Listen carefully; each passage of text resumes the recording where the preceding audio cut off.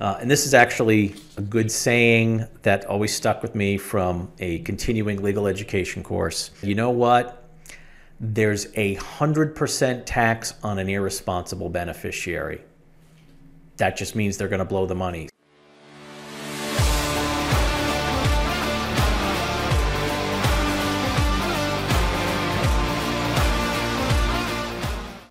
Potential steps in trust funding. Okay, uh, you the main one is changing the ownership to the trust. All right, the trust is now the direct owner. Um, and sometimes this has a little anxiety for my clients. Wait a minute, um, you mean it's not really my bank account anymore? No, no, no. If you or you or your spouse or you, your partner, whoever is putting this together, whether it's one or two people, you're the trustor setting up the trust, you're the trustees, you're the beneficiaries. It's still 100% control, but it's titled in the name of the trust, and that's enough to keep it out of probate. Great. So when you're changing the ownership over to the trust, typically they're re they're renaming the existing account, but in the case of banks, they've got to do things a little bit differently for bank accounts they have to open a new account in the name of the trust and move the money because of account numbers. And it's, it's something dealing, I believe it's with the Patriot Act and a couple of other things, just to keep things straight. All right. Um, here's where I've had some discussions, uh, and there's a little bit of a disconnect uh, when it comes to things like beneficiary designations. Sometimes I have uh, the professionals, and usually it's banks, or sometimes it's newer uh, financial advisors. Oh, you don't need to put this account into the name of the trust. Our accounts are beneficiary driven. All right. That sounds nice it sounds like you don't have to do much. What this really comes down to with a lot of the financial institutions, they're just saying it's a it's a lot more paperwork for them to change the ownership that it is to change the pay on death beneficiary. So they may push towards that or say, oh, you don't have to worry about doing a revocable trust or you don't have to worry about this going into the trust. We can set up your beneficiaries directly. All right, so here's what could happen. Um, if you have, well, okay, don't put this into the trust. You can just name your two kids as the beneficiaries on this account. Well, they're the beneficiaries of the trust, right? Yeah. Well, you can just name it to them directly. It doesn't have to go through the trust. What if one of your kids dies before you do? Oh well we can put per stirpes on there. So if something happens to one of the kids it's going to you want it to go to their kids right? Yeah. Well their kids are seven and nine. Okay so these you've got $600000 in an account. It's supposed to go 300000 300000 one kid dies. And it's going to go down to their two kids. Well it's going to the kid the grandkids right? At what age? Well i put in my trust they don't get it till 40 it's not going into the trust. Now those kids are getting that money at 18 or 21. No, no, no, no. You want those age restrictions. You want the trustee to stand in between them and the money and makes help them make smart decisions, pay for things until they turn the age that you put into the trust or the trustee decides to release the money early. You don't want this to just go to them be, you know, to just to avoid probate, you want the control, you want the restrictions, you want to make sure all these different contingencies that can't be put easily or at all into a beneficiary designation to be the end all and be all. Okay. Another potential step in trust funding for an account is well, you could make the trust the transfer upon death beneficiary. This isn't for all assets. Uh, and it really is because we've had some uh, and it's a more recent thing, that if you're naming a pay on death beneficiary, such as a trust, and it seems to be the bigger the institution, the bigger this problem is. Oh, yeah, okay, well, the, the, you have a pay on death designation, a pay on death beneficiary named. Oh, you can name it the trust or you could name it a person. Don't worry, it avoids probate. Uh, okay, so the person dies. Yeah, here, I'm the trustee. I'm trying to collect these funds. Okay, well, we need a death certificate.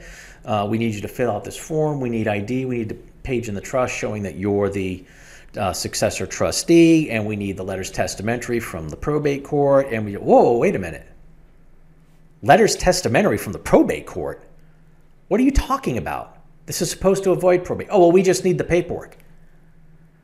It's not really avoiding probate, is it? Now, you talk to the personnel at the financial institution, you talk to probate attorneys, you talk to the, even the clerks at the probate court oh, it's not in probate, but the second you're having to deal with the probate court to get documentation in order to get something that was supposed to avoid probate to the clients, to the family, that sounds like probate to me.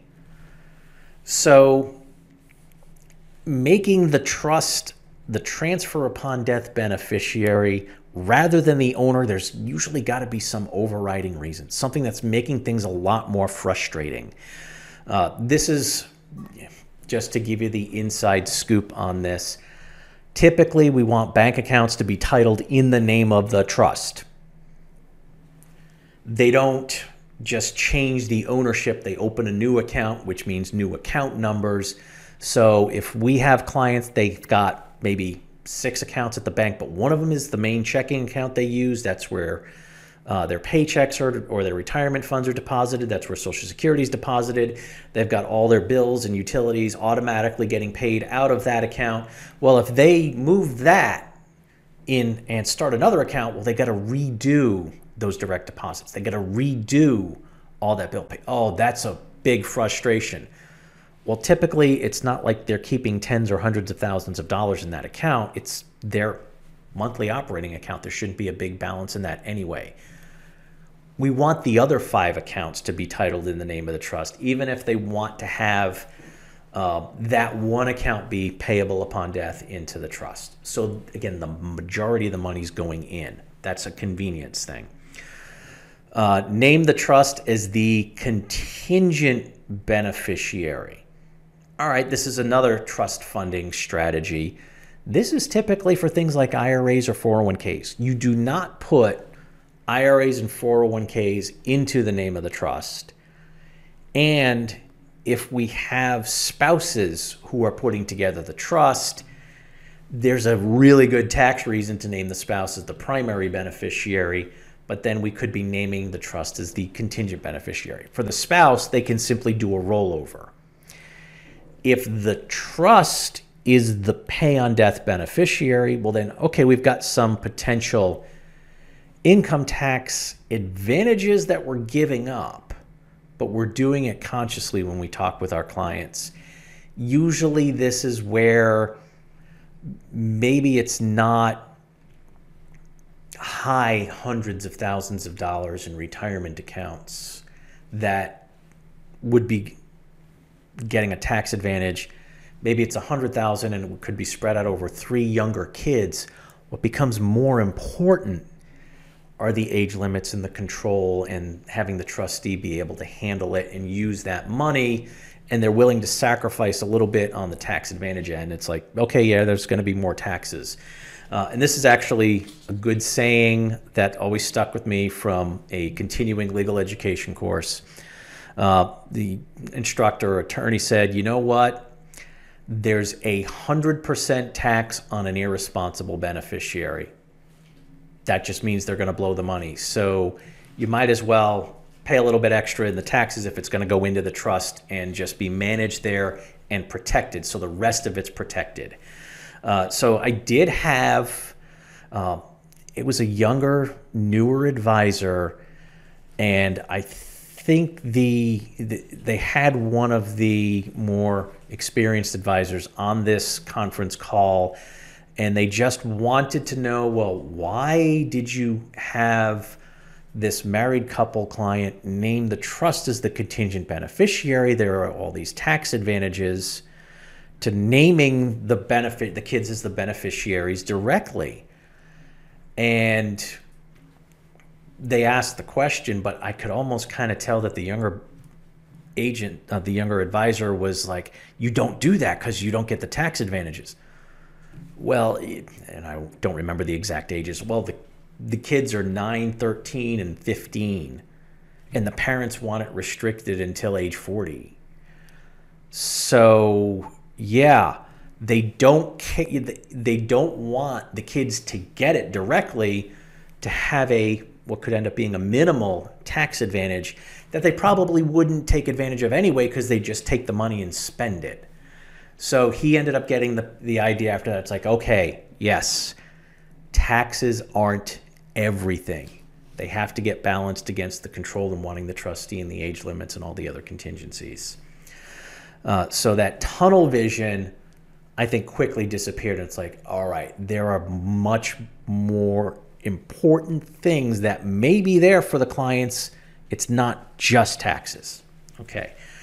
Wild cards and exception, these things abound.